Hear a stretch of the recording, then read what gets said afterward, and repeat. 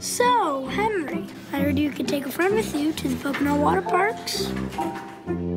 I'm free this weekend.